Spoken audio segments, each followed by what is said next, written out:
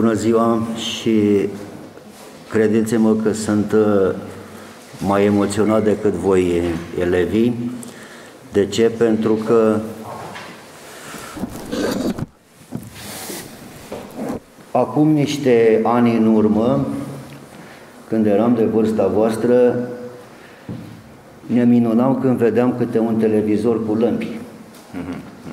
Și iată că în decurs de câteva decenii, puțin tele, am ajuns la chipuri, elemente logice, analogice și procesul continuă.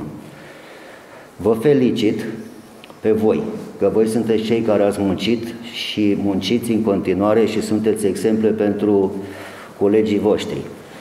Felicit uh, cadrele didactice care v-au stat alături și vă conduc pe drumul cunoașterii și, bineînțeles, familiile pentru tot sprijinul pe care vi l-au acordat și vi-l acordă. Iată că din această triadă nu pot rezulta decât uh, lucruri bune. O colaborare într-adevăr deschisă, eficientă și în beneficiul nostru al tuturor. Uh, Apreciem și mulțumim uh, aplecarea și atenția care vi se acordă din partea comunității locale în completarea acestei triade.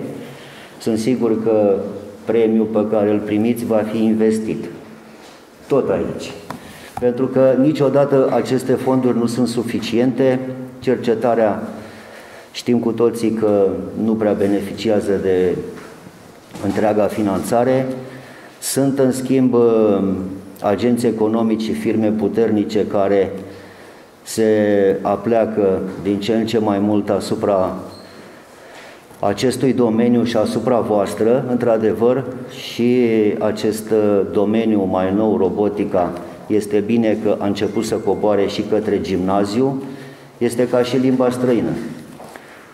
Cu cât uh, o exersăm de la vârste mai fragede, cu atât, cu atât înțelegem comunicarea în limba străină, la fel și funcționarea acestor dispozitive, logica lor și uh, utilizarea în folosul nostru al tuturor.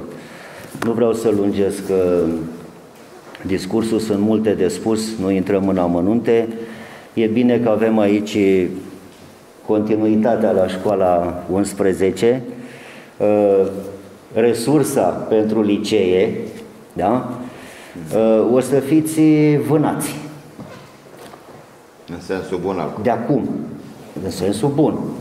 Uh, autoevaluați-vă și ajungeți să vă cunoașteți propria valoare. De regulă, voi sunteți modești și din acest punct de vedere și aveți tendința să vă subestimați. Nu, să știți că școala românească, ăsta e un citat dintr-un profesor, de la un profesor pe care l-am avut în facultate și care ne spunea, cu niște ani în urmă, în anii 80, școala românească, încă de atunci, pregătește cadre care fac față pe orice meridian al globului. Și așa este. Voi sunteți doar elementul prezent și de continuitate al acestei afirmații.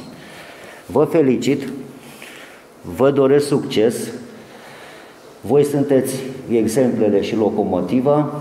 Uh, lucru în echipă, iată, nu poate duce decât la rezultate remarcabile și apreciabile. Lărgiți această echipă, sprijiniți-vă și ceilalți colegi, încât să ne bucurăm atât ca școală, ca municipiu, ca județ și ca nație. Vă mulțumesc!